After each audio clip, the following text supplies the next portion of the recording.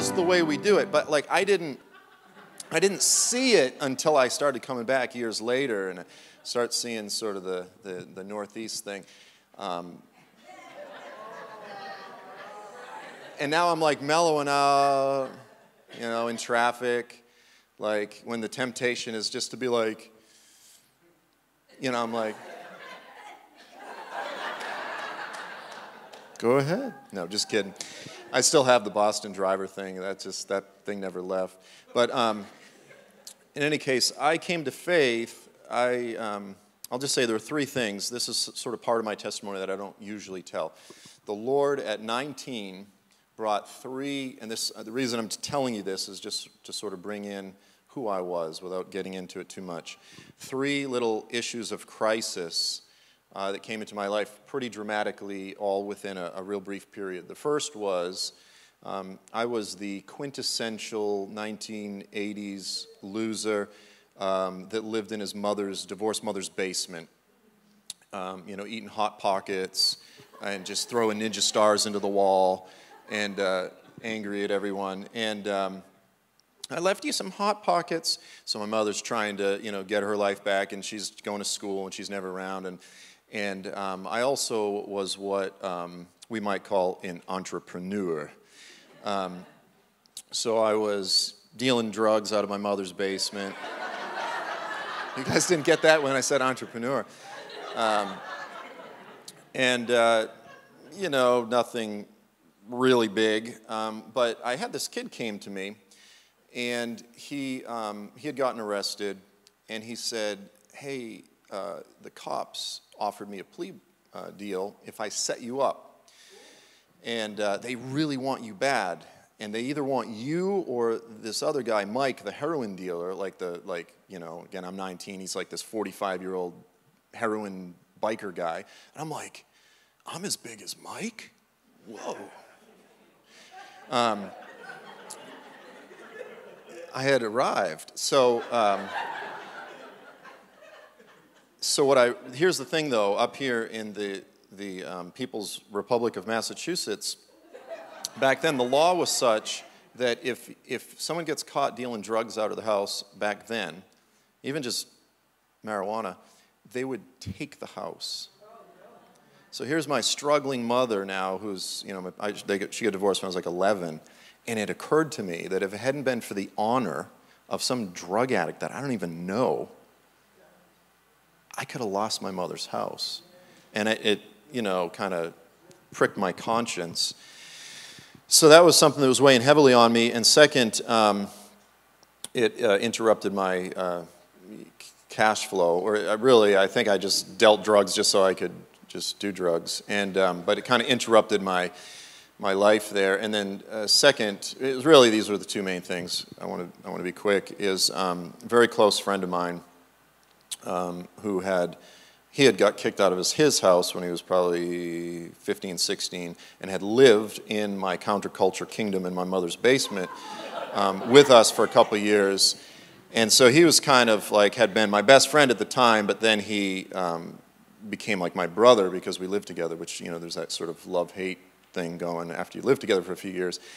And um, he, so I was, uh, you know, and there's always, there's Pharisees everywhere. I always make this joke that even among losers and drug addicts, there's kind of like this Thank thee, Father, that I am but a pot smoking, acid taking, occasional alcoholic.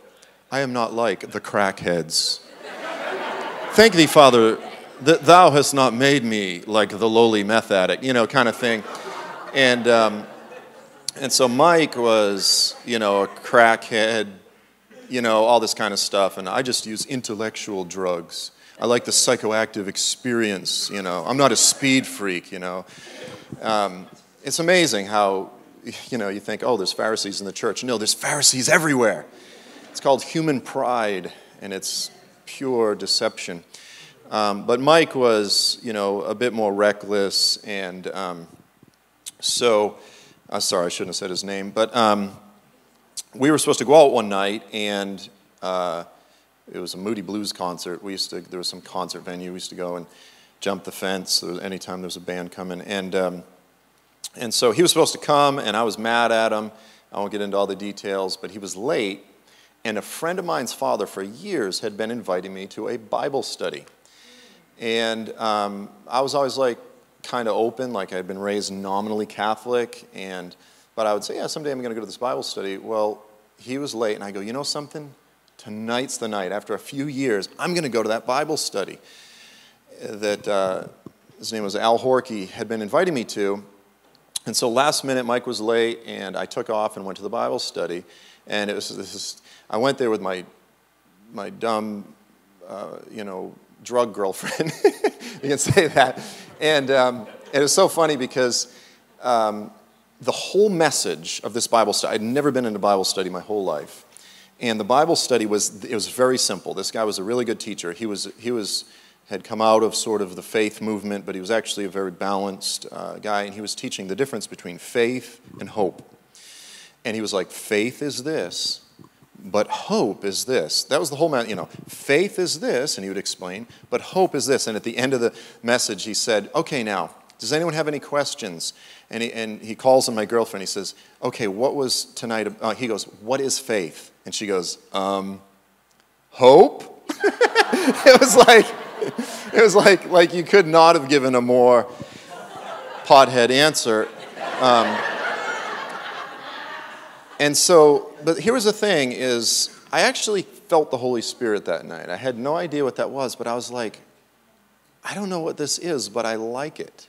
As someone who was a connoisseur of experiences and sensations, I was like, I like the Holy Spirit and I want to come back. I had no grid. I just knew there was something there that I was drawn to. And uh, went home and um, went, went to bed, and I woke up, the phone rang, and it was another friend of mine, and Mike had got killed in a car wreck, had um, rolled his truck multiple times, and uh, won't get into all the details there, but so, you know, someone very close to me was, was killed, and, and sort of all of these things were happening about the same time. Then uh, it coincided with, I went with a friend. Uh, we, we drove from uh, Massachusetts down to Memphis, ended up at this tent revival meeting. And uh, I actually, it was, we got there by accident. Uh, and I actually got baptized because it was August 20th. It was real hot. And, um, and literally, we pulled up to this Piggly Wiggly which is a, which is a grocery store down south more and uh, in Memphis, Tennessee. And it was real hot. We'd been on the road like 24 hours, Massachusetts to Memphis, no air conditioning. And, um, and we pull up to this grocery store and there's a tent revival meeting. Well, I had no grid for Southern holiness tent revival culture. But I was just like, this is better than going into a Taco Bell bathroom and like splashing in the sink. And I just said, let's find the preacher and let's see if he'll baptize us. So we did. And uh, then they kind of, everyone kind of looked, they're like, who's this, you know, hippie guy? And let's get them roped into the, the meetings. And needless to say, that night, the Holy Spirit confronted me in a powerful way. But He was used in some of the other events that were coming into my life. And I gave my life to the Lord that night in a very, I mean, the Lord confronted me in a powerful, powerful way. And essentially, He just said, the trajectory that your life is going right now, despite all of your uh, pride, is uh, you're on a path to, to, the lake of fire. Very, if you don't give me your life tonight, you will spend eternity in the lake of fire. And I just said, Yes, sir, you're right. And um, we wrestled for a while, and I gave my life to him.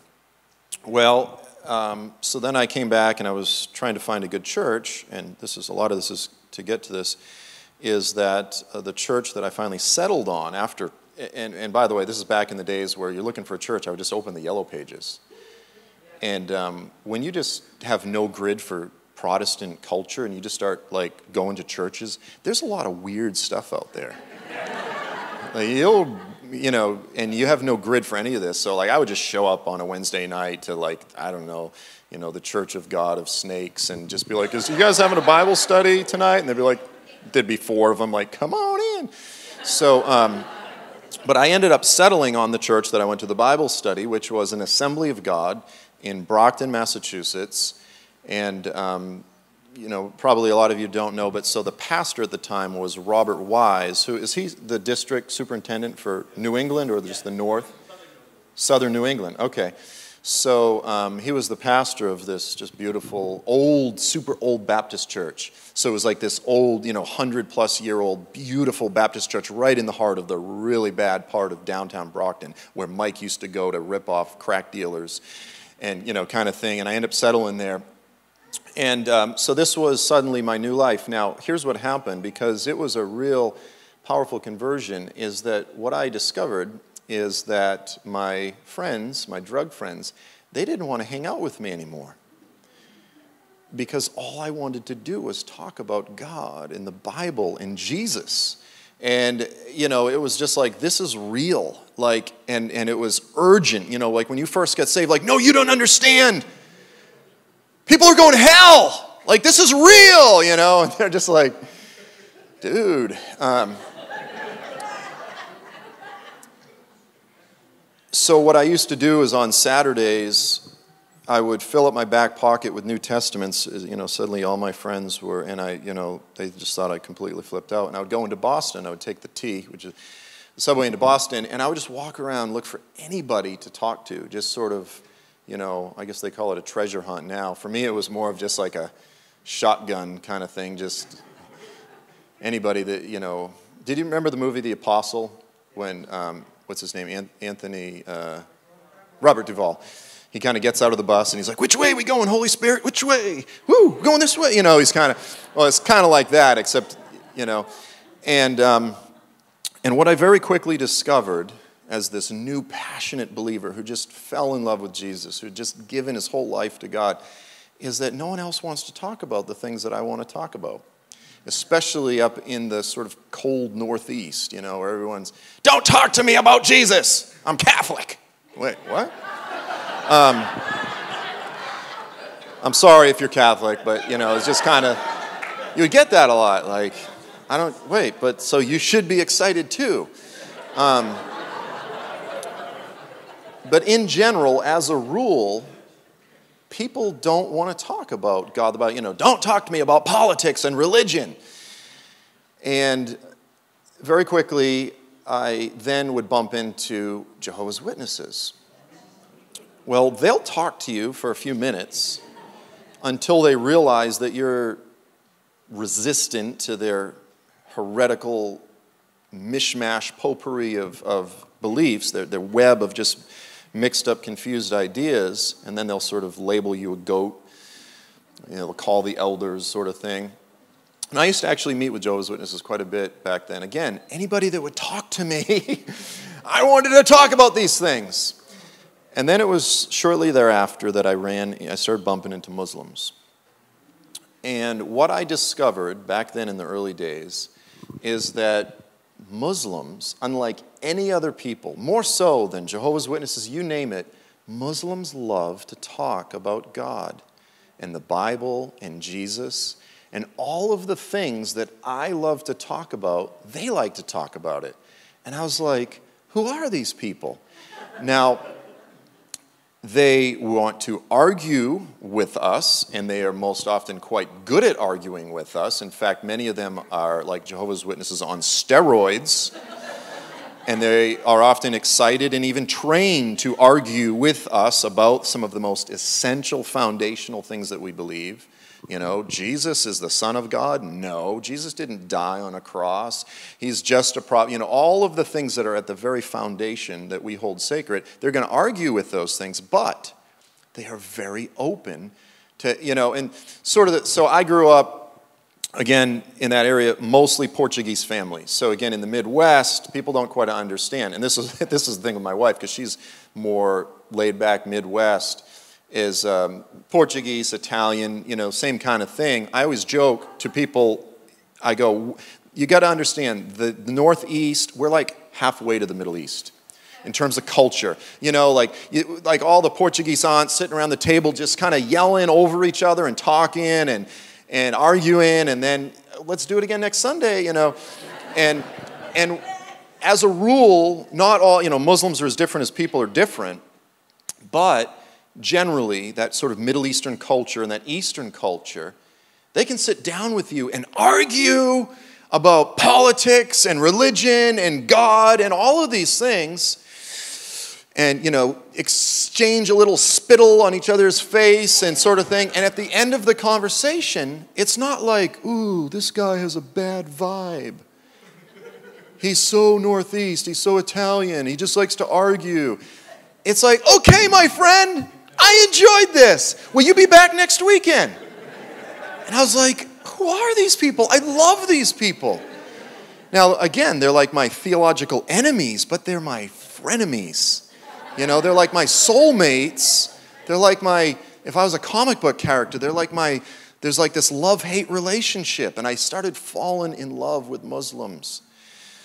We're, we're living at a time in history where the coldness that I experienced 20 plus years ago has only increased. People, people don't want to hear, especially nowadays with you know, politics, like just and yet, there's a people throughout the earth that are some of the most God conscious, God hungry people in all of the earth, but yet they're looking for God in all the wrong places. And we are the people who are stewards of the message that have the words of life. And yet, Satan is doing everything that he can to try to fill our hearts with fear, with bigotry, Sometimes it is racism. It's not all, well, what race is Islam? Okay, I understand that. But there is, um, Satan is using terrorism to try to fill us with the idea that every time you see a woman in a burqa or hijab, she obviously has a bomb under it, um, you know, sort of thing. And, and just like this, this fear tends to come over us. Now, I want to be clear there are some legitimate concerns. Terrorism is very real. When you look at the history of Islam, when you look at current, the spread of global radical Islam, there are some reasons to be concerned. You know, Uncle Joe that sends out the email that's all just negative, negative, negative, he has some valid points. However, we are not people who are of this current age, of this current system. We are not first and foremost Republicans or Democrats or any of these other things of the world. We are followers of Jesus, first and foremost. That is who defines us. So we have an entirely different value system. And we have to recognize the fact that throughout history, throughout redemptive history, the Lord has always used incredible catastrophes natural disasters, man made disasters, all sorts of terrible things that on the surface you go, this is terrible. But he's used it for his own glory and for his own redemptive purposes. And if we are people with eyes to see, who understand what the scriptures say, who understand this present hour, we need to recognize the opportunity, the tremendous moment of opportunity that's right in front of us. Now, very shortly after I came to faith, there was a missionary that had come to church and spoken. I believe at the time he was, he was an AG slash Wycliffe, because doesn't AG sort of partner with Wycliffe? I might be wrong on that, but I think he was sort of with both um, Wycliffe Bible translators, and he was working in Kazakhstan. So, you know, all of the Istans, the southern former Istans below Russia that sort of broke off, Kazakhstan, Uzbekistan, etc. And he was working there, and he was working among Muslims, and he was working with the poorest of the poor. And he explained for the first time in my life this thing called the 1040 window. Well, this is just a part of the world that has the vast majority of peoples of the earth that have never heard the gospel or have no effective witness, a, a church or missionary presence in their midst in order to hear an effective explanation of who Jesus is. This is where the vast majority of what we call unreached peoples live. So he explained the 1040 window, but then he explained that among all the peoples in the 1040 window, the most significant people who are yet to hear the gospel or don't have an effective witness, who are considered unreached, are Muslims. Are Muslims. So again, Muslims are not just in the Middle East. They're, you know, the, the most populous Muslim nations are Indonesia, Pakistan, India, and Bangladesh. Like those four together make up two thirds of the whole Islamic world. There's more Muslims today in Germany than there are in Lebanon. So, you know, sometimes we think it's all in the Middle East. Um, but nevertheless, the 1040 window sort of includes a lot of that. Well, you have today roughly 1.7 you have 1.61, 1.62 billion Muslims. We have roughly 2.2 billion Christians. Now, again, this is Christian, Catholic, Protestant, Orthodox, you know. And so, of that, you go, well, how many are born again? How many actually have the Holy Spirit who know God? And you, you quickly, the number kind of gets knocked at least in half. There's probably, let's say, about 800,000 people that would identify, eh, 800 million, sorry, um, as born again Christians. We have roughly twice the number of people in the earth that identify as Muslim than those that would call themselves born again uh, Christians. Now, of that, of that group, 1.62, this is the world's second largest religion. And at present growth rates, and that's a combination of different factors, it will surpass Christianity in size right now, projected around 2050. So it will become the world's largest religion. Of this group, 46, uh, I'm sorry, um, it's uh, 84.9%. So of the 1.6 billion, 85% roughly are considered unreached. Now, what that means is of all of the unreached peoples in the world, 46% are Muslim. So, all the peoples in the earth that don't have an effective gospel witness, close to half of them are Muslim. This is what this missionary said. He said, and at that time, again, this was 91 2, he said, we were sending roughly half of 1% of our missionaries to the Islamic world half of the unreached peoples of the earth, and we're sending half of 1%. So, of every 100 missionaries, of every 200 missionaries, one was going to the Islamic world. The greatest number that needs to hear the gospel, and we're sending the least number of our missionaries. And at the end of the message, he gave an altar call. And he said, If there's anybody here that would like to come to the altar and commit your life to the Islamic world, just in typical Pentecostal altar call form. If you feel that call, I'd like you to come forward. And I was the only one in, the church that walked up and knelt down, and it was very sincere. And it was also very pragmatic. I mean, I felt the call, but it was real simple. It was just, I said, Lord, I should be dead right now. I should be in hell right now. But you opened my eyes, not because I deserved it, not because I was the best of all of the losers. The Lord didn't look down and be like, man, I really have got a lot to accomplish. I need this guy. He was like, I'm going to have mercy on this pathetic, little arrogant, drug dealing loser, this little vandal, you know, kind of just dirtbag. I mean, have mercy on him. And he opened my eyes and shocked me, really. You know, he brought crisis into my life because he loves me, because that's what a father does to his children. That's what a father does to, to his, his children. He opened my eyes and he laid on my heart for the first time a, a, his cry, his heart for the Islamic world. So I began my sort of five year uh, plan. The idea was I was going to go to a little Bible school out in the Midwest. I was going to study the scriptures and sort of get the Holy Spirit. And then I was going to go up to a missions college up in Minneapolis and go to the Middle East. That was the plan. Well, we make our plans, but the Lord has other plans.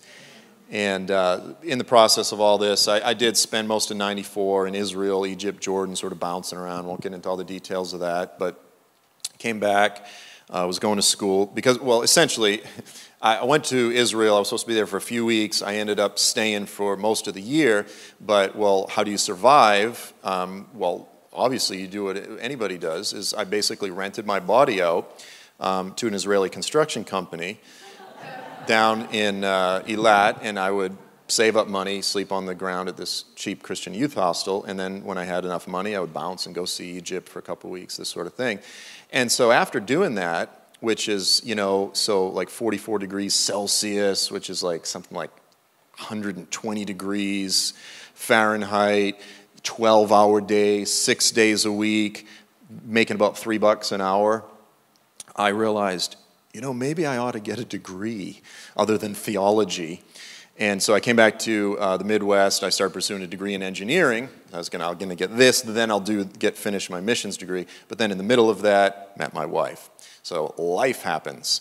Next thing you know, you know, you, you, you go from like being single, like Lord, how long? And then all of a sudden, you, are like married with a baby. It's like, like, whoa, what just happened? And um, life happens. So I won't get into all that.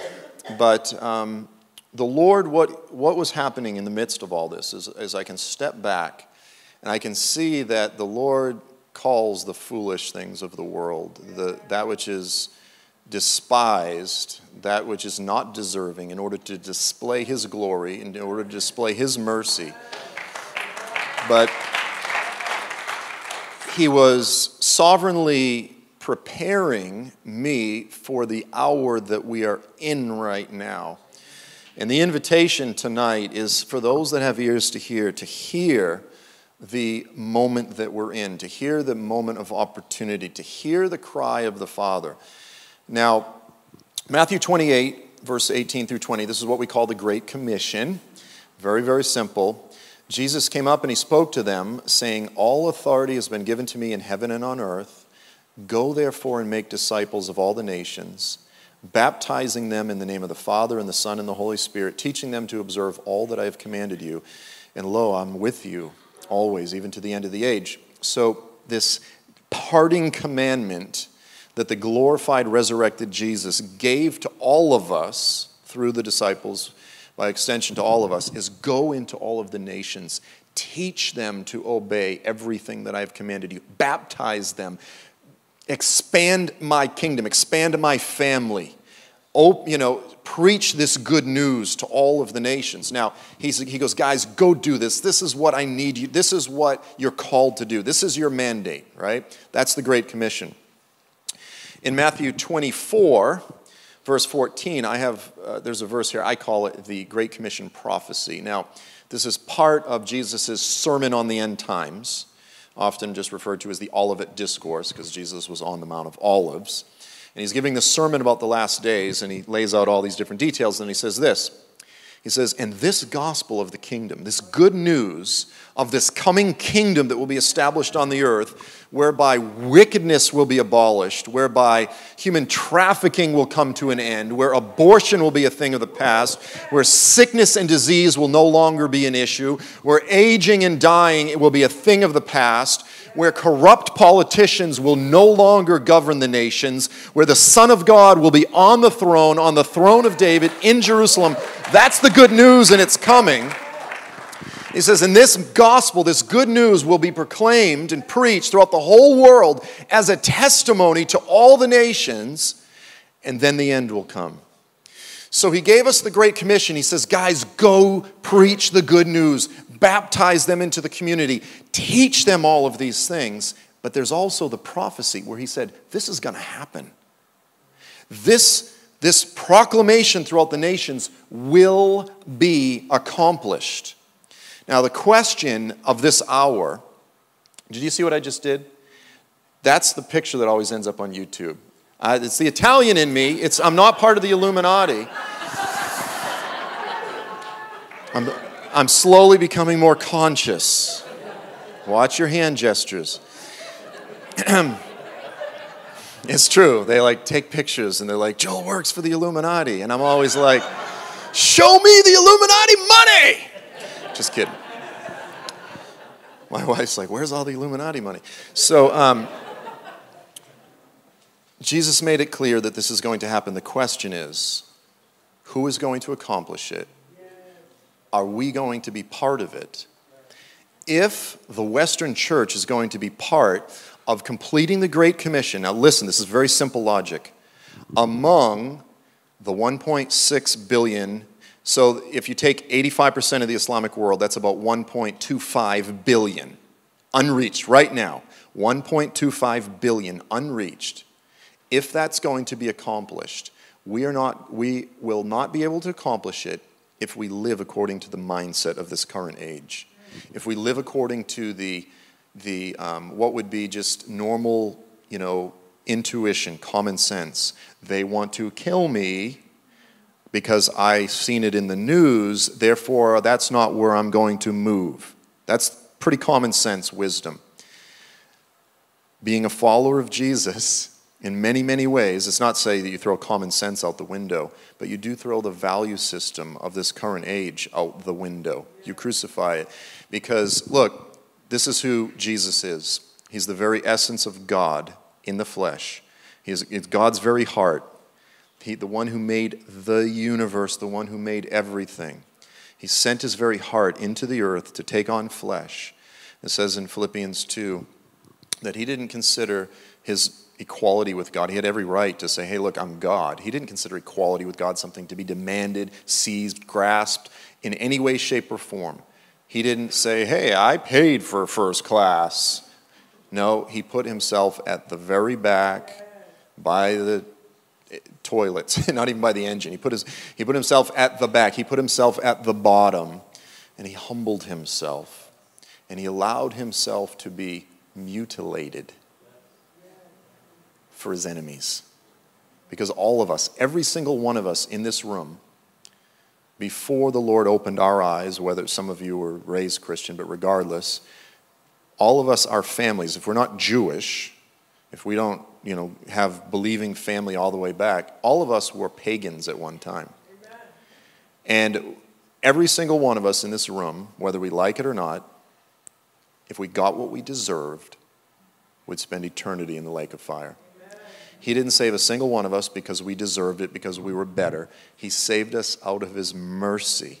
And this is the essence of why Jesus came to reveal the very heart of the Father, to make atonement in order that we could inherit all of the good things that He desires to give to His creation for free by grace. And we love Him back. We do, we're obedient out of love, not because we're trying to earn eternal bliss. Because trust me, guys, you can't earn it. You know, it's like if I show up and I'm like, hey, everybody, you know, I'm not Oprah Winfrey, reach under your seat, free Maserati to everyone. And then everyone comes up and's like, well, I'm kind of broke, but at least here's $10. I'm like, no, it's a gift. You can't pay for eternal bliss with your little pathetic good deeds. None of us can. It is by mercy, it is by grace, period. So we go, but Muslims, but Muslim, I mean, look at what they're doing. I mean, have you seen ISIS videos? Have you seen all of the jihadis and all of this kind of thing? And I go, yeah, there's some really evil, vile stuff out there in the earth. Did you guys hear the story, by the way, of the, um, the uh, Jewish uh, Pharisee, basically, in, in Jerusalem? Um, there was a Messianic Jew so he was a Jew who believes in, in Jesus. And he was uh, just this young guy, I mean, just anointed. And the, the Pharisees um, were furious because he was preaching the gospel, and they literally stoned him to death in Jerusalem. I mean, just crushed his body with stones. And this one particular guy that was standing there when he, they were doing it was holding the cloaks of the other men who were doing it. His name was Saul. And the Lord used him to write much of the New Testament. He was murdering some of the best and brightest, glowing faced young messianic believers. That's who the Lord called to write epistles that is sacred scripture. So I'm not trying to make you fall in love with ISIS, but I am saying there is an opportunity right now for us to walk with the value system, to see beyond the surface of what Satan, because this is what terrorism does. You see people get killed at some Christian festival in Berlin, you see the, you know, all of the stuff, and that stuff's real. But then Satan uses that to cause us not to obey Jesus not to obey the Great Commission, to say, I'm only going to preach to people that I'm not scared of or that I like. Now, you live here right on the edge of New York City. I guarantee you, every single one in this room has Muslims right in your midst, right? Living all around you. And again, I want to be clear the vast majority of Muslims are nothing like ISIS. Some of them might be, but the vast majority are not. I want to be realistic. There are some, you know, there's a percentage. They say roughly 15% global Muslims are open to using violence and so to forward their religion. Because if you study the earliest example of their prophet Muhammad, you study the Quran, you study their earliest sacred traditions, you study the life of the successors of Muhammad, known as the rightly guided successors, um, it's a lot like ISIS. But the average Muslim is very Quranically illiterate, much more so than the average churchgoer is biblically illiterate. And that's saying quite a lot. Because they don't really study the Quran like we have, like, they don't have, like, hey, Wednesday night Quran study. They learn how to recite it in Arabic, and most of them don't speak Arabic because most of the Muslim world is not Arab speaking, is not, doesn't speak Arabic. So I want to be very clear that the vast majority of Muslims are not radical, but you know something? The Lord wants to save the radicals too. He wants to save your neighbors, that is the, the doctor and the you know, car salesman and the cop and you know, et cetera, et cetera. But he also wants to get the Christian killers because it's not according to what we deserve. Now look at this. This is um, kind of sort of the other side of the coin, if you will. I call this the other Great Commission. Revelation 6, verse 9 through 10. Because we always talk in the missions movement, well, we're going to preach the gospel to all the world, and then we'll complete the Great Commission. Jesus will return, because that has to be done first, right? And missiologists are always calculating how close we are. We're getting real close. But this is the sort of other thing that has to be completed that no one talks about. When the Lamb broke the fifth seal, I saw underneath the altar of the souls of those who had been slain because of the word of God and because of the testimony which they had maintained, they had held firm. And they cried out with a loud voice, saying, How long, O Lord, holy and true, will you refrain from judging and avenging our blood uh, and those who dwell on the earth? And there was given each of them a white robe. They were told to wait a little longer until the full number of their fellow servants and their brethren were to be killed, even as they had been, would be completed also. So the Bible says that the gospel will be preached to all of the unreached, and then he'll return. And he also says that he's not going to return until the full number are martyred. The full number of martyrs comes in. Now, here's the thing the completion of the Great Commission and the full number of martyrs are not two separate things, they're one and the same. So the question is are we going to sit back and go, thanks a lot, Joel? Scary message. Um, I'm just going to let my Middle Eastern friends do it. I'm just going to read books on how I can be victorious in Jesus. Because that sells a lot better and it's a lot funner. And there's truth in it, don't get me wrong, but that's the kind of stuff that we love to focus on. But today we don't like to talk about Christianity 101, which is imitation of Jesus, embracing the cross, putting the gospel first. I'm not putting anybody down, I'm just saying, in terms of the buffet of wonderful things that we can pull out of His Word, there's part of the buffet that we generally tend to ignore. If we are going to fulfill the Great Commission, which Jesus said we will, we're going to have to start getting back to the gospel, getting back to the imitation of Jesus, getting back to what it means to actually be a Christian. And Lord, let us be part of it. I don't just want the emerging Brazilian missionary movement to be the only ones that do it, and those crazy Chinese. I want to be part of it. I want the Western church to be first and forefront. I mean, like right now, look, I want to be clear. You know, we've just gone through a crazy storm of political stuff with the elections, and everyone hates each other, and we're still trying to figure out who we should unblock and all this kind of stuff. And, and there's a lot of feelings. Now, I'll just say this. Um, you know, I'm raising my children in the, the, United States, and despite the fact that I'm this kind of weird hybrid mixture of all kinds of ethnicities, and um, and I'm convinced that I've got some dachshund in me, um, which is another part of the whole government breeding thing. But anyway, we won't get into that. Um, is I, I love this country. I love the country that I'm in right now, and you know, there's I travel all over the world and I love a lot of places, but this is the place that the Lord has planted me and where I'm raising my family.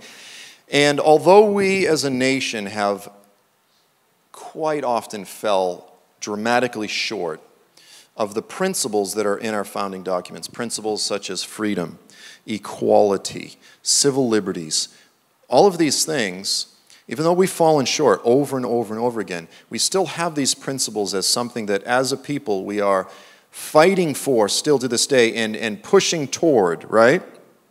We're pushing for all of these things. Um, there's a lot of people that just, they're so angry with the political climate. They're just like, Lord, just like Jeremiah, I'm done with this mess. Bring your judgment. you know, like you get all these like zealous Christians, and they're like, if the Lord doesn't judge America, he's going to owe Sodom and Gomorrah an apology. You kind of like, well, aren't we righteous? Um, and look, I, I, I understand at times. You know, you wake up in the morning and you turn on the news. You know, this is turning on the news. Um, and you're like, oh, oh, you know, I understand that. But here's the thing is we are called to be a house of prayer for all nations. And that's not just for other nations. We're called to be a people of prayer who aren't just seating. Now, here's one thing the United States, for all of its shortcomings, we are still funding 80% of the global missionaries going out throughout all the earth. We are still accounting for 80% of the missionaries going out to the. We're still at 80%. Like I said, the Chinese, the Koreans, the Brazilians are emerging as great missionary sending nations.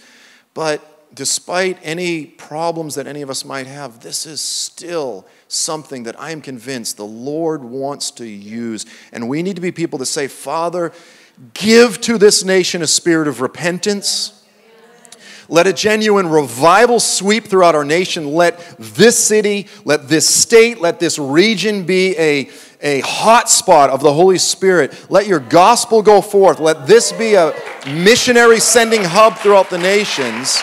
And let us not begin decreasing in the number that we're sending, but let us increase, right? We're called, all of us. Jesus said, My house will be called a house of prayer for all nations.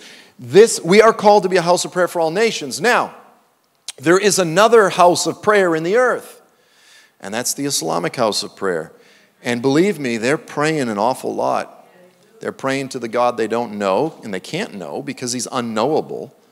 But Muslims pray an awful lot. In fact, I always like to ask the question I go, guys, if you lead a Muslim to the Lord and he comes to faith and he begins, he begins imitating your prayer life, is he going to start praying more or less? And when you have a people who are a people of prayer, if they want to convert to truth, they want to find something doesn't this is not a religious trip because it's not about hours, but they want to see a people who are a genuine house of prayer. So one of the first steps that we need if we are going to accomplish that which Jesus wanted us to accomplish is we need to be a people of prayer. We need to be a community of prayer.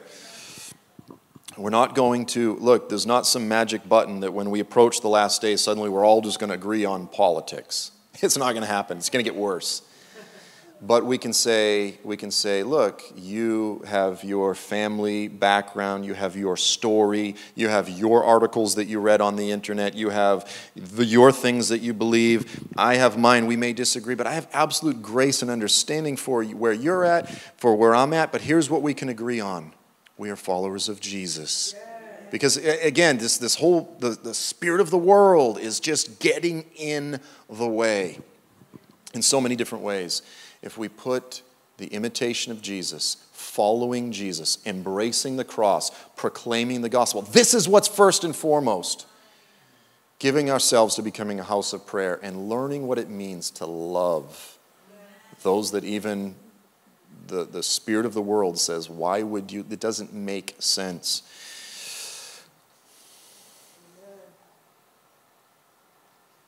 Luke 24, verse 26. The American gospel essentially says this you have the cross, then you have this age, and you have the end times, the return of Jesus, and the age to come. The American gospel often says something like this Glory now, glory in the age to come. I call that you can have your cake and eat it too gospel. Sounds great.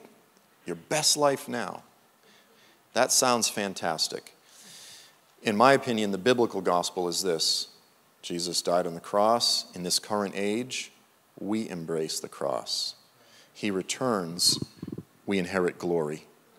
In this age, we'll be blessed. I mean, look, life's going to be a lot better if you're not a drug addict.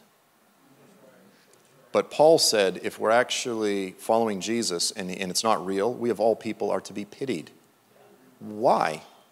Why would we be pitied? If we're living our best life now, why would we be pitied? Because if it's not true, we are making tremendous sacrifices for nothing. It doesn't make any sense if we're to be pitied now. So the biblical gospel is cross now. This age is cruciform. It is modeled after the cross. It is patterned after the life of Jesus. Luke 24, verse 26. Did not Christ have to suffer these things and then enter glory? 1 Peter 2, verse 21 To this we were called, to this you were called, because Christ suffered for you, leaving you an example that we should follow in his steps. He has given us the pattern. He has shown us what it means to imitate to, to exemplify the heart of the Father. We are called to imitate Him. And then we will inherit the glories of the age to come. And, and the biblical gospel is not primarily your best life now, it is your best life in the age to come.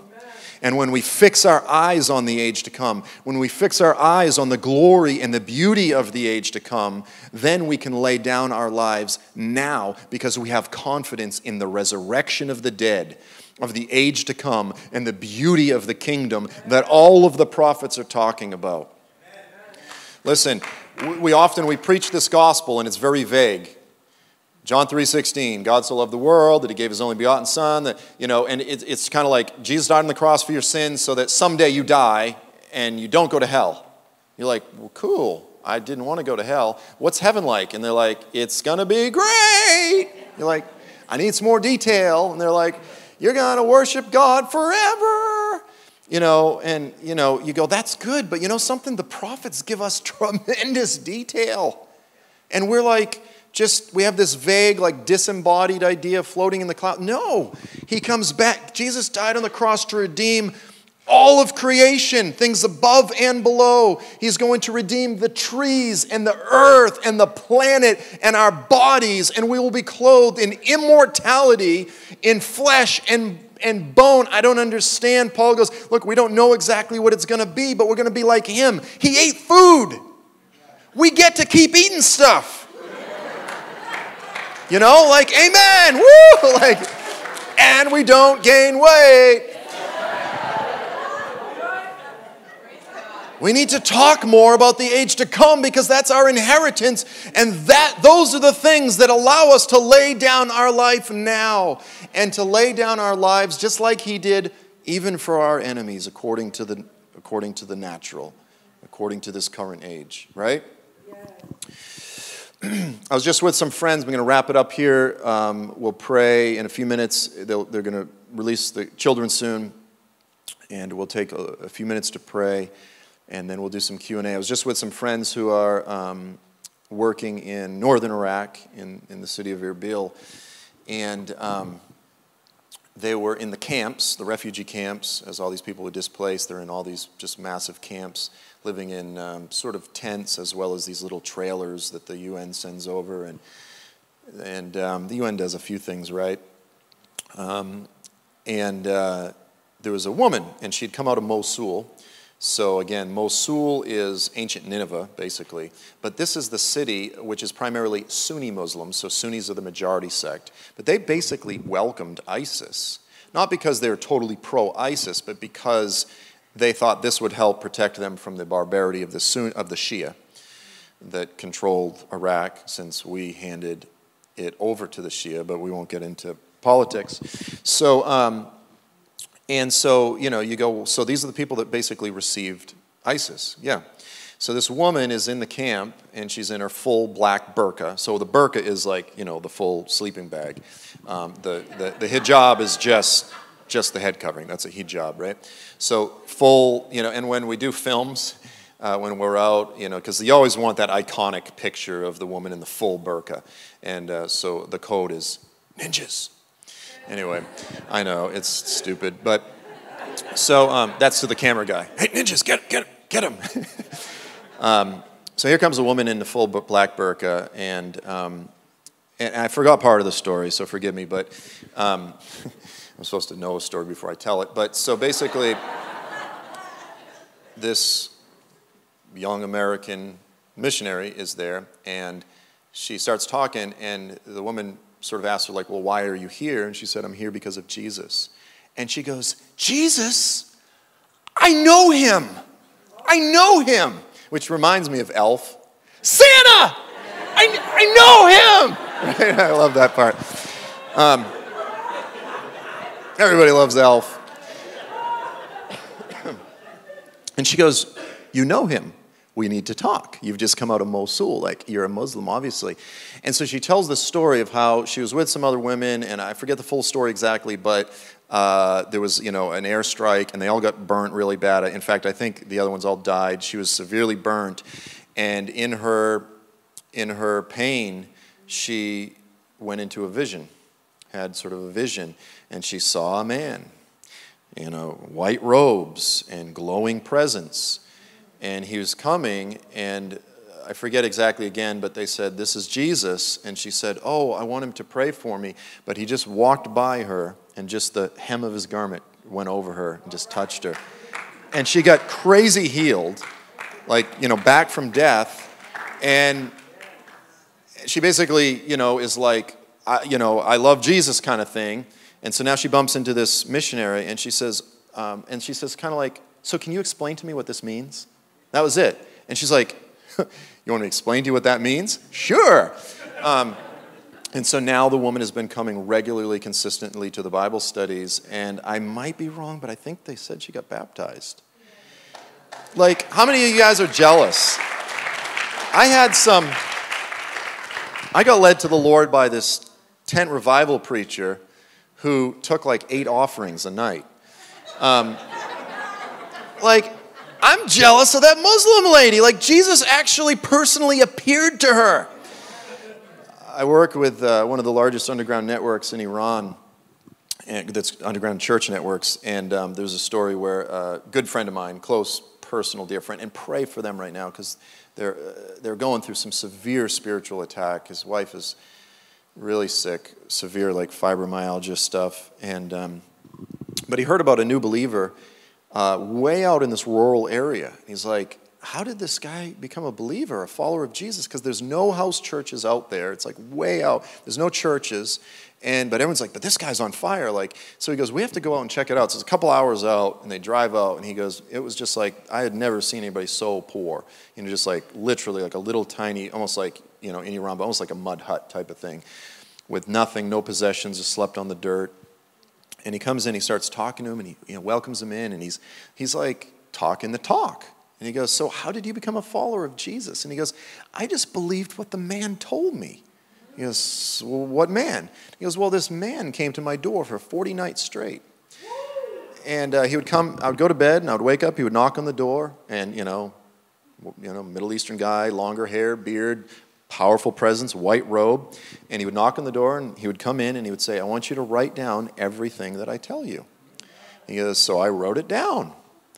And he goes, What did you write down? And he goes, Can I see it? And he goes, Sure. And he gets just this little notebook and it's all in Farsi, Persian. And he opens it up and he looks, and just in hand, handwritten, it says, In the beginning was the Word. And the Word was with God, and the Word was God. He says the entire Gospel of John verbatim in Farsi. And he goes, I just believe what the guy told me. Follower of Jesus. I'm jealous. Like Jesus led, like, how'd you come to the Lord? Oh, well, you know, Jesus came and dictated the Gospel of John to me personally.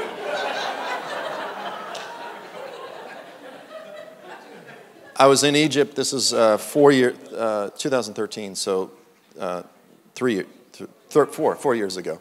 13 plus 4 is 17. And um, I just got there. I've told the story a million times, but th- this just happened when the week that I was there. I didn't get to talk to the girl, but the whole community was so excited. And uh, this young Christian um, girl had gotten into a taxi, and the taxi driver was a Salafi. So the Salafis are the radical, sort of Saudi influence, like ISIS, basically. And um, that type of sect, you know, with the sort of uh, Mennonite beard and the, you know, kind of deal. What I mean is no mustache with, the, and um, and she's in the taxi with this Salafi, you know, this fairly radical Muslim, and the Lord prompts her, and he says, Jesus says, I want you to tell him that I love him.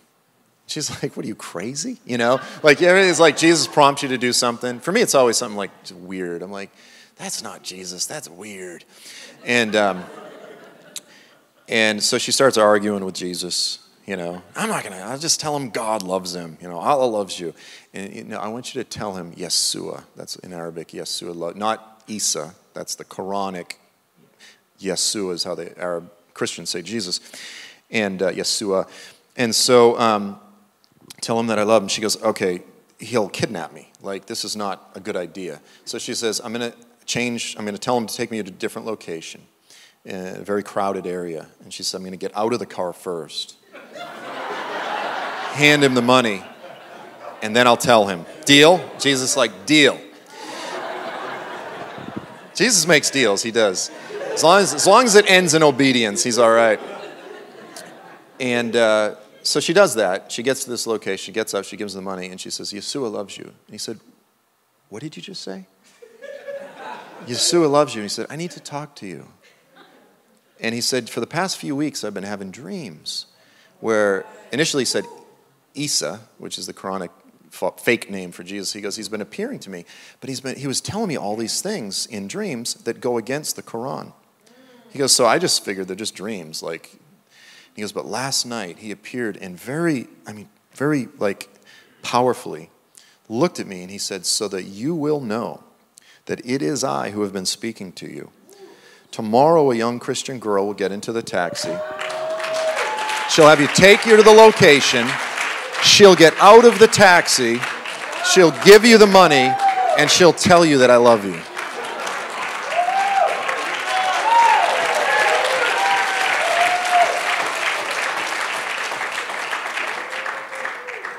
And I'm always very, very leery of uh, evangelistic exaggerations and stuff. So I confirmed with my friends, and they go, Yeah, he's been baptized. He's part of the community. He's now joined the church. You know, this is.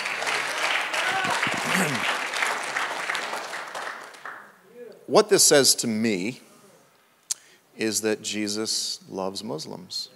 There are many, many, many Muslims. Their prayer, when they begin praying, is they say, Oh, Allah, guide me to the straight path, sort of like on the straight and narrow. Let me not go astray, not like, it's essentially kind of like, don't let me go astray like the Christians. You know, they don't say that, but not like those who went astray or like those who are corrupt, the Jews. Um, that's kind of the inference, but, but guide me in the straight path. And people say, well, when Muslims pray, does God hear their prayers? Are they praying to God? And the answer is yes and no, because there's only one God, but they're praying to the God that even they don't believe they can truly know. But of course, God hears the prayers of those who are praying to the God they can't know in ignorance. And there are many that are sincere. And when someone truly cries out to the God of creation and says, Guide me to the straight path, he's, the Lord is looking. For, because look, he doesn't, he, he will do these supernatural things, but he always brings someone along then to disciple them and teach them to obey all that I've commanded you. You know this famous statement by the supposedly Francis of Assisi preach the gospel, use words if necessary. That's so unbiblical. You can't teach someone to obey all that I, you can't teach, explain to someone the concept of blood atonement with giving them coffee, you know, water, or whatever. You know, like that just doesn't work. You can open their heart to those things, but we are called to teach and and and and uh, disciple them into some pretty detailed doctrines and ideas. So. 99% of the Muslims that are coming to faith, and there are more Muslims coming to faith all over the world right now than any time in human history, they are coming to faith because a Christian had the boldness to say, I'm not ashamed of the gospel, and I'm going to open my mouth and share the gospel. Now, there's a lot of the miraculous stuff, and we love that stuff, and that's proof to me that God loves Muslims. But He always sends a preacher. How will they hear unless there's a preacher? How beautiful on the mountains are the feet of those who bring good news, right? Let's pray. Father, we come before you in this hour. We know, based on what you're doing in the earth right now, based on what you said, what you said is going to happen in your word, we know that there will be a mighty ingathering. There will be a harvest throughout the Islamic world. My spirit leapt when I, I, I didn't even realize the name of the church is Harvest Time.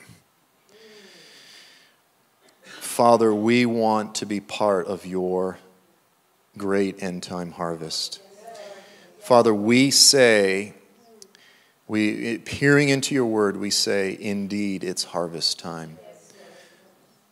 Lord, we ask that as individuals, that as a house, as a community, we would be part of this amazing opportunity. Everything in the natural is going to tell us no. Everything in the natural is going to tell us that doesn't make sense, it's irresponsible, it's foolish, it's suicidal, etc., etc., etc. They don't deserve it. The only thing that will remedy the chaos of the Middle East is military action or this, that, or the other thing. Father, we say, let us be people after your Son. Let us be people of the cross. Lord, we want to follow your Son wherever he goes.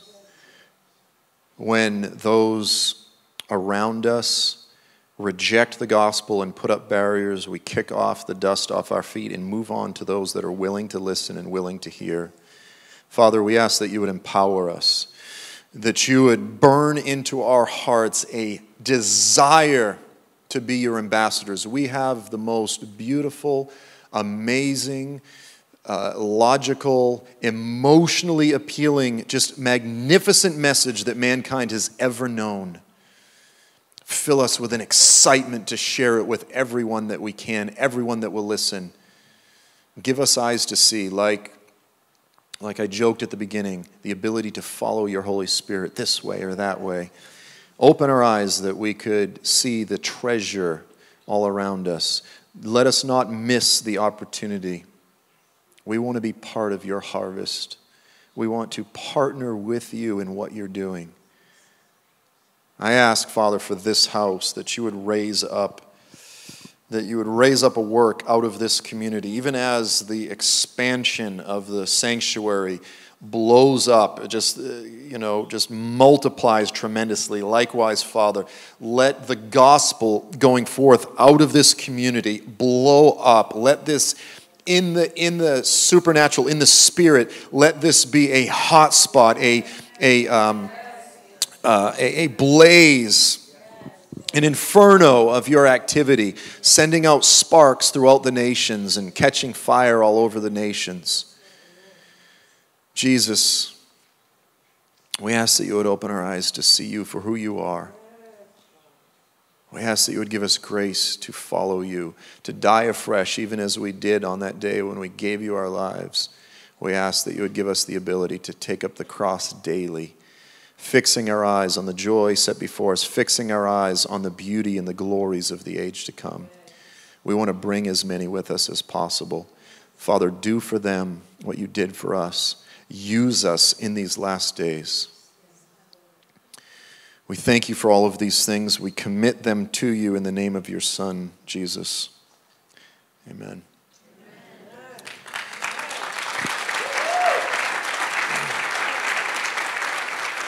So feel free to leave. Feel free to get your children. But I think what we'll do is just do Q and A uh, for another 15, 20 minutes. Okay. Oh, yeah. And Nick will grab the mic so that no one has to yell.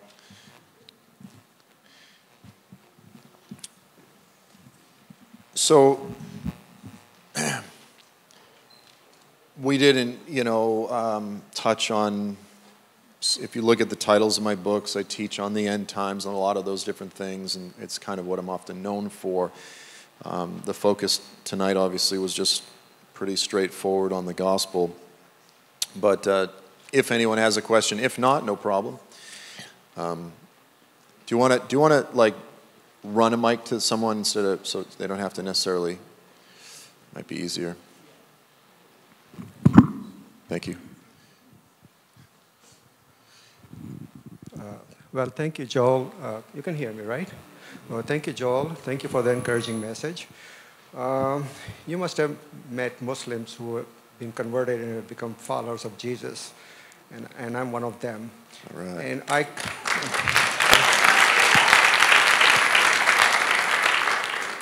And I have this strong desire to uh, witness to my family. Fortunately, they're cordial with me, and we sit down together, we have meals together, and they have accepted me. I, uh, you know exactly what happens, you know, to a Muslim, you know, convert in a family like that. In, in, Where are you from, some- I'm from originally? families. Pakistan? Pakistan, right. My name is Rafiq. Rafiq. So I think the usual question that comes up with uh, Muslim is uh, Jesus being Son of God. Yeah.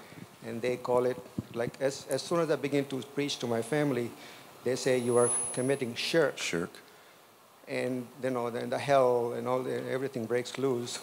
So, I mean, I have some answers. And also, when it comes to crucifixion and resurrection, I can answer that better than the first question, like who son of son of God, because you can historically prove crucifixion, or and even resurrection, you know, through the witnesses in the Bible and all that. But this question creates an obstacle, because they think like you've made a man into God and son of God.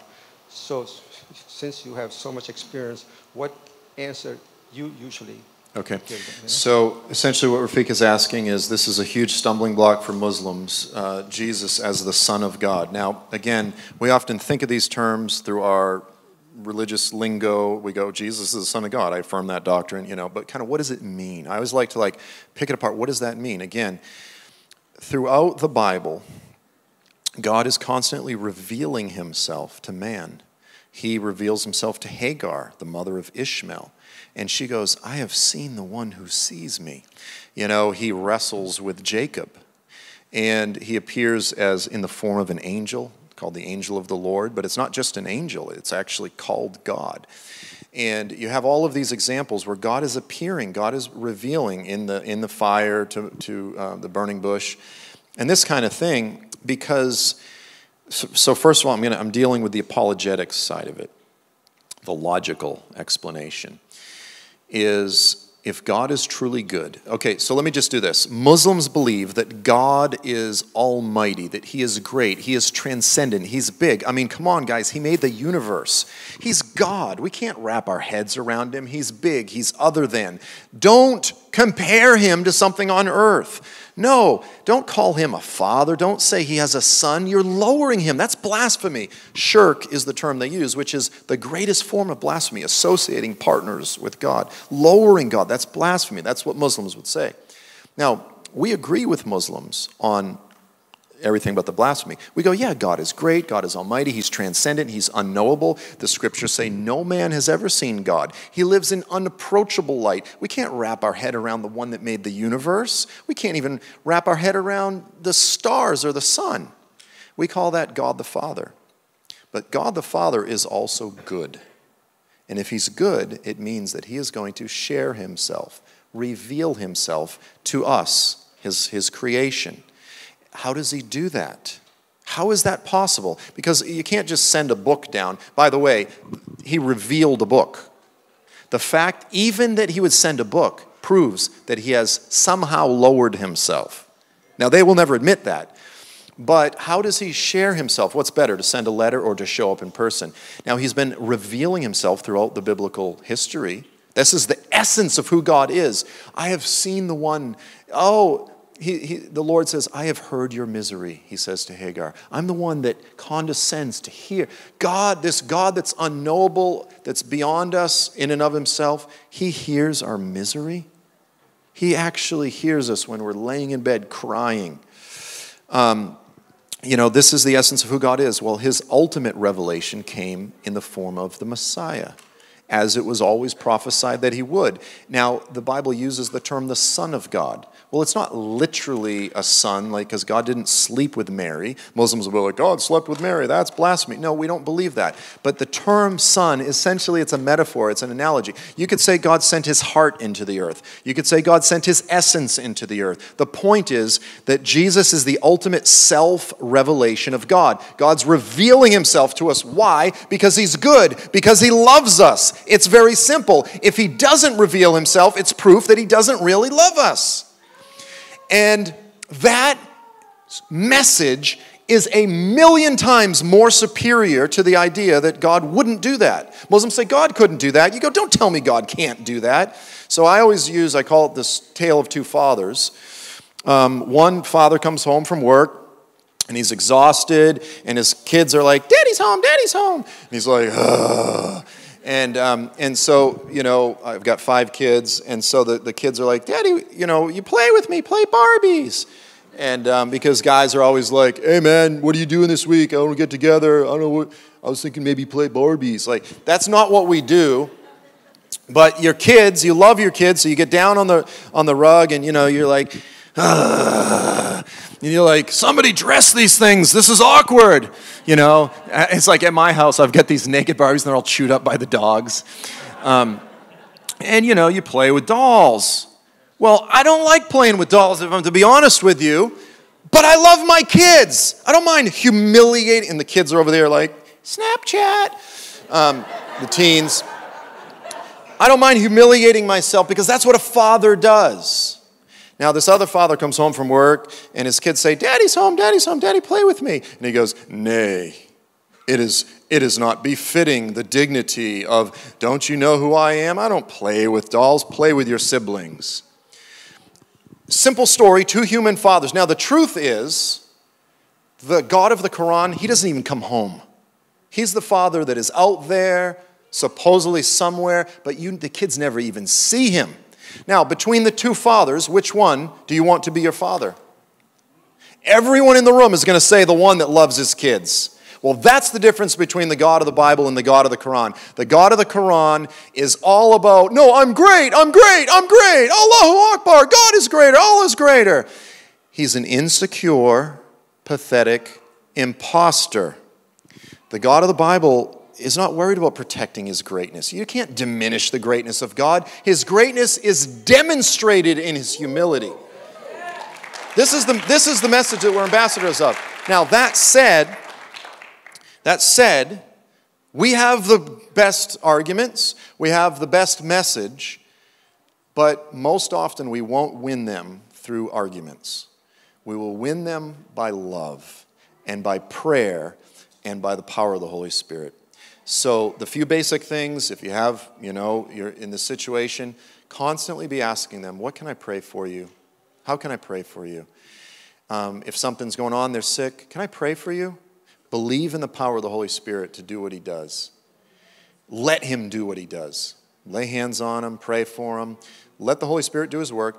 If they are willing to take it, give them a Bible, nice gift edition, right? Give them a Bible, and just keep loving on them. And if they're willing to listen, make the arguments. But usually it's not the argument. Now, some, sometimes the arguments work, but usually it's the, the love has to open the door. And don't anyone go, I haven't been trained, I don't have all the answers, so therefore I need to get trained before I start. No, reach out to Muslims, and after they steamroll you with their arguments, if you have pride, you're going to go learn the arguments. You're going to be like, I'm not going to let that happen again. don't, don't wait until you're trained. Go out and do it. Love them. 85% of Muslims that come to faith say the main thing that is because a Christian loved them. Because we are called to be a people of the cross, which is we love people unconditionally. Was there another one? Yeah, hi, I hope that was helpful, Rafiq. Um, hi, Joel. I just um, really want to thank you for being here. It's been very informative for me. But um, there's Three, um, three questions I have for you. The first is maybe if you could talk a little bit about what you think is happening in Syria. Um, second, how do we support the persecuted Christians in the Middle East who are really struggling and suffering? Like, you know, what do you think the best way to do that is? And then, thirdly, I had an encounter um, with a Muslim cab driver in DC several years ago. And it was an interesting conversation. To your point, very open. We were having this philosophical conversation about the differences between a Muslim worldview and a Christian worldview. And he had an advanced degree. I can't remember what country he was from, but he was super articulate, super intelligent, married to an American. He had three kids. But the, the, the culmination of this conversation was that you know, his, his answer for the sin problem is the purging the earth essentially of all of the spiritual contamination. And I'm, these are my words, you know, but, but that meant that even if it was his wife and his kids, then, you know, it would be for Allah if they died for Allah. And I'm like, oh my gosh, really? And this was before 9 11.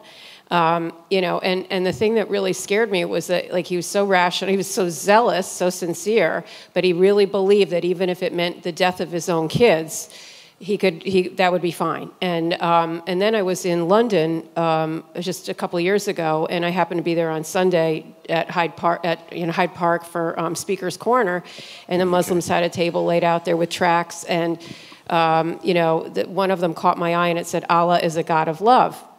So I got into a conversation with the imam there, and I relayed this cab driver thing, and I said, "Could you explain this to me? You know, like how does this fit theologically?" And he would not renounce that stuff at all. You know, I mean, it was just like very. The, the, the interesting thing was that the young guy that I talked to behind the table later on, we had a great conversation about how they think Jesus is coming back again, and it was to your point about just a really nice exchange. But I was very chilled by the the. Um, the passion that this guy had and the intelligence that he had and it just felt like that mindset is so close. Like that's the solution for the sin problem. And maybe if you could i don't know that we would have conversations like that now after 9-11 quite so openly right. but you know it was chilling nonetheless. Yeah. I used to uh, dialogue with this um, doctor from egypt and he was real incredibly intelligent articulate and, and he, he basically said the same thing like when the time comes there's going to be, you know, sort of a purge. And I said, well, since we're friends, will you at least give me morphine before you behead me? He said, because we're friends. Um, so I was like, great. Um, I was just kidding. I don't plan on getting IV'd before I get beheaded. Um, I want to feel it. No, just kidding. So, um, sorry. Um, what's going on in Syria? That's kind of a uh, complicated issue. I believe that the current landscape in the Middle East is aligning with the landscape as described by the biblical prophets in a profound way. It's coming into amazing focus. That would take all night to explain. Um, what's unfolding in the Middle East is pretty profound. Um, how can we support Christians in the Middle East? Um, I'll just say this. Um, uh, the best way is to talk to your pastor and see if there's anything that's you know in initiative through the church. Um, you know, and do that. And if not, encourage them to get something going. Um, you know, if, if you don't, you come up with dead ends there, I do, if you go to my website, I, I work with GCM, that's the, that's the ministry that's in Iran. And um, the other one is FAI, which is doing ministry in Syria and Iraq. And uh, those two, I'm, I'm on the board of both. And, but I don't want to solicit funds for different ministry here. So the first thing is I go to your pastor and see if that's there. Um, yeah, I won't comment. I mean, you know, not all Muslims are like that. Like they're not like they're thinking we're going to eventually, you know, kill all the pagans and the infidels. But we hear that and we kind of get chilled. But I'm gonna I'm gonna go out on a limb here and, and kind of say a lot of Christians, if you talk to Christians, like um, how many years ago was that um, abortion doctor shot in church out in Kansas? That was Kansas, wasn't it? To a degree, a lot of Christians go uh, on social media, they're like, we renounce murder. And they go deep inside, they're like, yeah, but that SOB got what he deserved. We kind of do. And um, sometimes Muslims are kind of like that. Like, we go, yeah, but you're all secretly supporting the jihadis. But sometimes we're not greatly different. Like, we go, well, when Jesus comes back, he's going to execute vengeance on the wicked. You know, it's just our idea of the wicked is different than theirs. And so I'm not trying to make moral equivalence because it's really not quite the same, but it's not necessarily as completely radically different as some of what we believe. Um, it's just the difference is we are waiting a divine God man to burst forth from heaven to execute God's righteous judgments. Muslims actually believe that they will participate, not actually participate, but actually do it themselves. So it's aggressive, it's active, as opposed to our picture, which is defensive, and, and we're passively awaiting our defender to come. They're like saying, hey, we don't wait for the, the, their Messiah figure known as the Mahdi. We don't wait for him. We start doing the stuff now. So there is some significant differences, but by the same token, I'm just saying, don't think that every Muslim is pure evil in their mindset. No, but you know what I mean? Like, because, but sometimes, so um, anyway, those are just a couple thoughts. I don't know how helpful it is. Joel back here. Oh, sorry. Um, no, it's okay. So, uh, so uh, first of all, thank you. I mean, this is was amazing and just totally what the Holy Spirit needed. I, I think us to hear, me, at least me personally to hear. This was uh, really just very powerful. Um, I, for a while, just had a heart for the people, mainly men, that I've met that are Muslim uh, around the greater New York area. And some of them may be just someone that drove my wife to the airport the other day. Um, someone was my mechanic uh, that uh, you know, at one point it was in my old neighborhood and we got a little bit of a conversation going and i realized that he believed in the bible but didn't have one and so it was one of the last parting things i did before moving from the neighborhood was just give him a really nice beautiful one yeah. i said you got to put this next to your quran and you got to read it um, but there's two things well first of all can you give some advice as far as the friendship witnessing evangelism, if you will, to someone to just, I mean, I just love their, when, when you meet a, uh, a beautiful Muslim person, and, when, and I use the word beautiful in the sense that there's a gregariousness about them, there's a, a, joy about them, they are family, and they like to, there, there's just a relational aspect that seems very endearing to me and to anyone that if you actually, you know, it seems like you want to sit around a table and eat. It's kind of the way you discussed it. So if you give us some more tips towards how we do that, number one. And then the second question or thought was also, um, and it was, I'm sorry, it was more a specific question.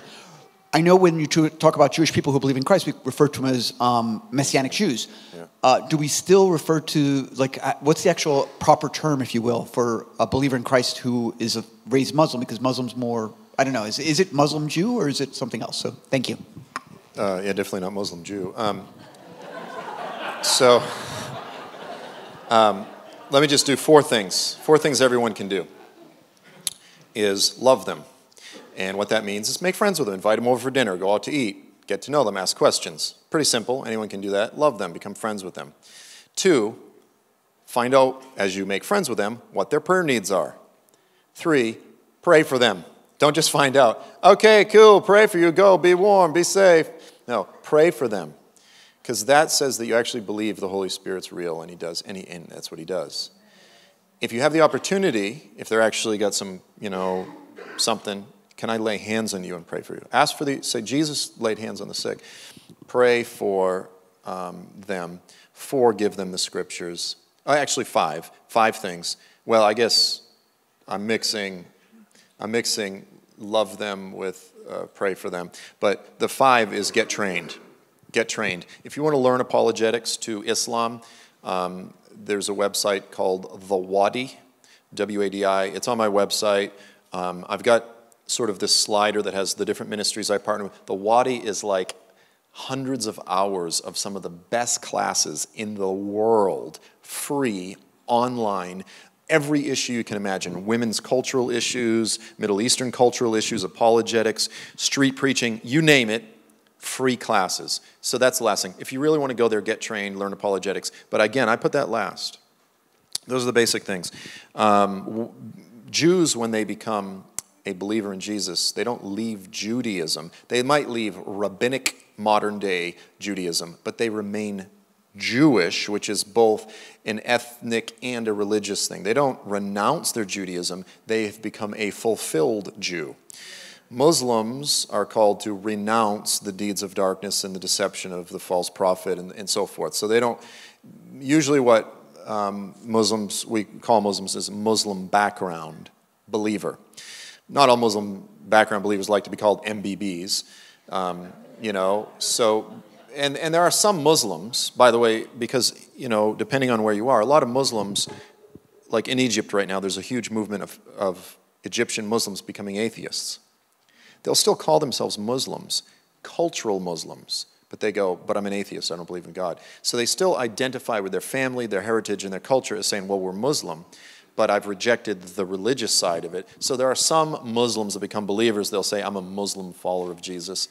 I'm not a huge fan of that language because I think it can blur and confuse things, especially in today's kind of ecumenical, syncretistic, let's just do sort of a little bit of both, you know, kind of stuff.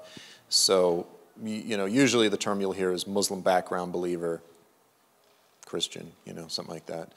So, um, this will be the last one. And if, if anybody wants to talk to me afterwards, I'm around, but then we'll, we'll dismiss after this question. Hello? Oh. oh. hi, Joel. Thank you so much for being here. Greatly appreciate it. I saw the movie Silence. I don't know if you saw it. I did. Um, and it disturbed me for weeks afterwards. And for those who don't know, it was um, uh, Catholic missionaries that went into Japan in an attempt to evangelize Japan, and, and the um, government was so vicious and brutal in the torture of anyone who became a Christian that they basically, to this day, only 5% of the population is Christian from that effort. And my question is, you were saying that Muslims will exceed Christianity, number of Christians by 2050, I think it was. Is it because of the lack of the presence in those world, in that area, that allows us to continue to grow? Or is there something else? And, and then what is that something else and what can we do, you know? Yeah, that movie, I didn't like it. Um, it's a combination of many things. One is the lukewarm nature of the church. We're not actually making disciples. We're not actually obedient to Jesus. Um, the Islamic world is growing primarily because of birth rates, because there's a simple principle, which is to say the future belongs to those who show up for it. And we in the West are essentially aborting ourselves into non-existence. And um, you know, Western Europe is you know sort of the stereotypical 50-year-old man still living at home with mom. You know, disco, disco. Um, and you know we don't have kids until we're 34 and then we have the one or two you know that kind of thing is trending. Meanwhile osama bin laden was the 52nd child of his father. So demographics when you go there shift quickly.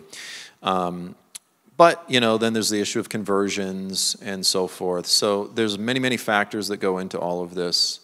Um, and demographic trends can also shift rapidly you know, the economy collapses all of a sudden, the birth rate just plummets, things like that. Different nations, nations like Iran, um, there's an incredible, um, uh, incredible lack of hope. Um, a lot of people don't realize Iran has one of the highest drug addiction rates in the world, one of the highest suicide rates in the world.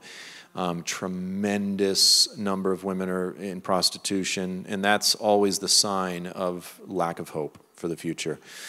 Um, and you know, so a lot of that is because of the economy, the American sanctions, and different things. Again, which is because ultimately the regime is doing everything they can to stay in power. But there's other nations, like even Turkey, uh, the birth rates are uh, not doing well. That's why the President Erdogan of Turkey has been like almost demanding that his people have two or three kids at least, um, or more, because people understand the future belongs to those who show up for it. But still, by and large, the, the Muslim world is simply growing faster. But in terms of conversions, I don't know who's winning that one. But, you know, in the United States, there's still tens of thousands of Americans that are converting. Let me just give you an example. And did I hear a British accent a little bit? No. No? Not even a teeny bit? Oh, okay. well, no, just kidding. So, um, uh, you and Madonna and um, what's who was um, the other guy? Anyway, I'm just kidding with you. I'm sorry. Um, you know, whenever you're on the pulpit, never pick on anyone because you're in this place of power. Um, I once, I once, I uh, this guy was. Uh, I did this whole message, and then it was kind of like that thing. He raised his hand and asked a question, which was like, I was like, "Did you not hear a word I just said?" And I, I asked him. I said, "Do you have narcolepsy?" And I was like, oh, like as soon as it came out, I was like, I have to apologize that guy. Um, narcolepsy is when you just fall asleep in your seat. So, um, what was the question? No, wait. No, um, oh, something about, okay, the UK. So think of this. Um, in the UK presently, I forget the number. What's the number uh, population of the Great Britain? Is it like 60 million? 60 million, a country that was originally considered to be a Christian nation, God save the Queen, the whole thing. And um, you have roughly, and these, these numbers might be a few years old, roughly three, 4,000 former Muslims that have become Christians. Um, but close to like 150,000 Brits that have converted to Islam. So, of the you know couple million Muslim immigrants, they've managed to, this small little number has managed to destroy us in terms of conversions. In the United States, there's a lot of different factors. Um, in the prisons, Islam is exploding. We can get into the whole thing with, you know, there's just a lot there in terms of um, multiple trends that are happening. I'm a, come from a transracial family, so I, I um, think a lot about some of these issues. But, you know, in the African American community, through a combination, again, of all sorts of factors, we're now roughly at about 70% uh, children are born without a dad. So you have that father wound, you have that sort of thing. Islam is the spirit of abandonment. Um, Ishmael was abandoned by, and not a, he was kicked out of the camp by uh, Abraham. He was abandoned. He had this incredible wound. Muhammad himself, his father died when his mother was pregnant, then she died when he was a baby. He was raised by his grandfather. He died. He had these multiple um, father wounds, and, and I believe Satan used that spirit, and now Satan is exploiting that spirit in, you know, and that's the negative side of it. Then there's the other side of it, and I'll say a little bit about which is not quite the same, but you know, Farrakhanism and and all this kind of stuff is. A lot of times the, the mosques are doing a lot in the more of the urban core in terms of, you know, I was the quintessential loser, so I can, you know, um, I always say I learned how to become a preacher because I was such a loser. The bigger loser you are, the more that you learn how to tell stories to make your loser life sound legendary. oh, you did that? That's nothing, dude. You should hear this. Have you met my friend Tim? He lives in the basement with his grandmother. Um, oh, you know, you learn how to tell stories. Well, you're, you're this prime candidate.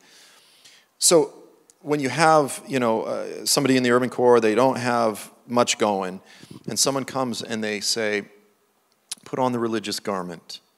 Here is instant dignity, the rush of religious religiosity, but yet it doesn't come with the cross because you can still cuss, you can still, you know, embrace a lot of different forms of, of, of hatred. I mean, even look at ISIS. I mean, they're raping, and they still have the religious spirit. So there's a carnality to it. But so there's just a combination of factors. And what I was going to say is so oftentimes a lot of the mosques and Farrakhan, a lot of, they're doing a lot in the urban core in the way of, um, you know, or development and, um, and, and uh, what's the term I'm looking for?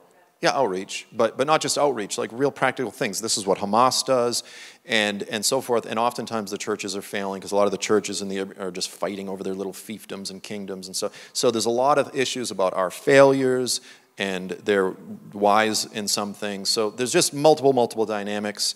Um, then there's always just the issue of the, you know, going away to college, and she meets this, um, you know, good-looking, swarthy, rich Saudi you know, guy who's super moderate, you know, and that whole kind of story. And um, 70% of, of Western marriages, which then result in conversion to Islam, 70% of the marriages fail. And 70% of the women that convert to Islam because of marriage leave Islam later. So it's 70, 70, 70. Um, yeah, it's good that a lot leave, but then there's kids and there's all kinds of stuff involved. And, you know, I, I, constantly run into women, they're like, my children are Muslims. You know, I was raised a Christian. I married this guy in college. My kids are Muslims. One of my kids got saved, the other two, you know, that kind of stuff.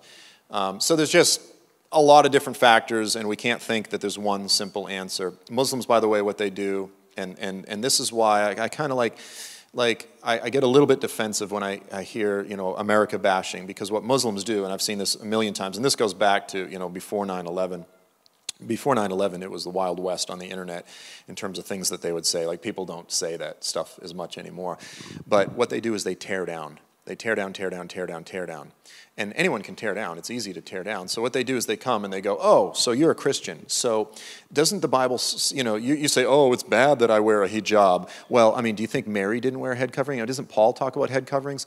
And you guys say, oh, well, I mean, isn't modesty like a, a, a concept that the Bible teaches? Oh, look at this picture. Isn't this like one of the most popular Christian musicians? Do you call that modest?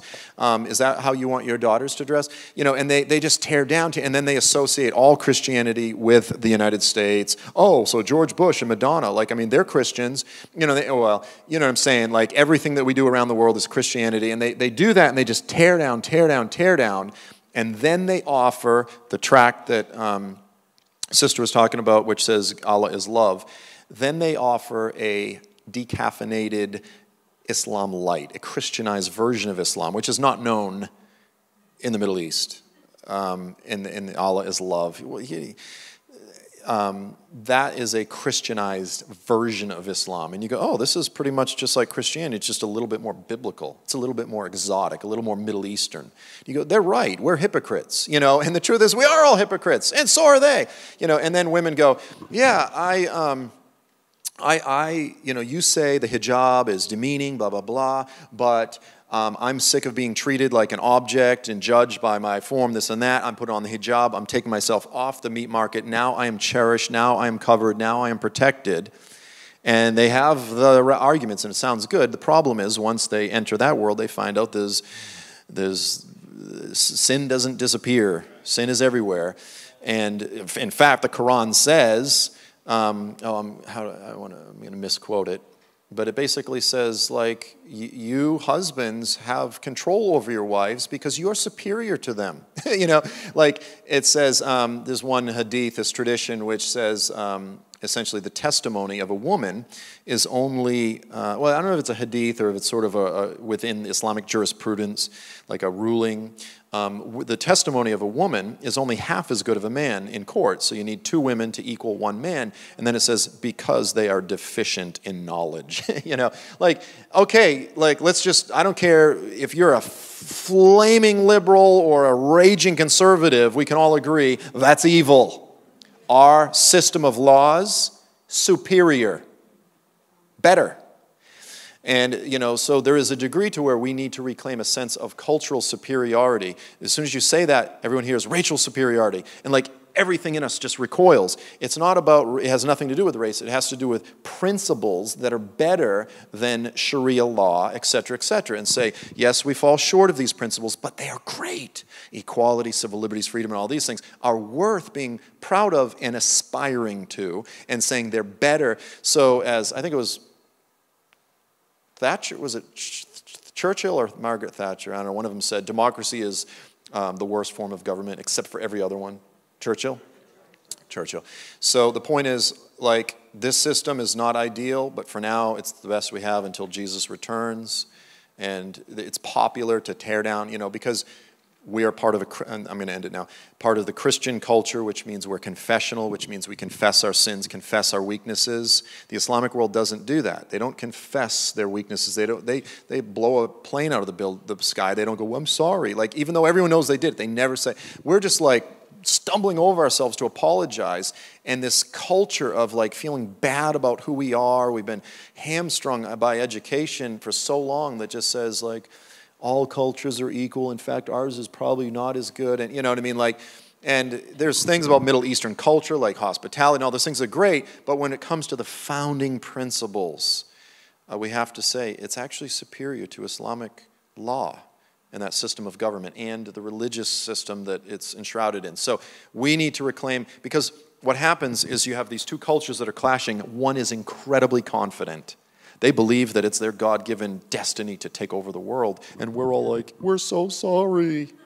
And, it, and they just running right over us. So it's a bad combination. I've talked 15 minutes longer than I said I would. So, amen and amen.